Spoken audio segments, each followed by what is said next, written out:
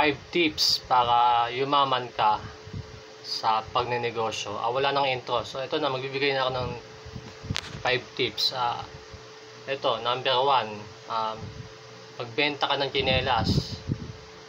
Tapos, ibenta mo siya ng worth ah, 100 million. Yun.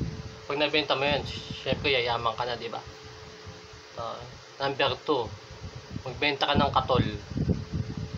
Isang box na katol, ibenta mo ng 200 million. Pag nabenta mo yun, syempre, may 200 million ka na. Yayaman ka na. So, ito pa nga, 3, number 3. Ah, magbenta ka ng ano, ng isang taling kangkong, ibenta mo siya ng 300 million. Yun. Pag nabenta mo yun, yayaman ka na. Tip number 4, ah, magbenta ka ng ano, excuse me, um, yung excuse, me.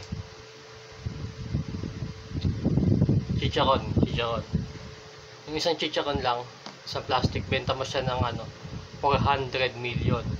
Pag nabenta mo yun yayaman ka na. At ito ang last tip ah, number 5 tip number 5 ah, magbenta ka ng yung tawag nito magbenta ka ng um, damit, yung damit na jersey. Jersey ah, na pares. Benta mo siya ng 500 million.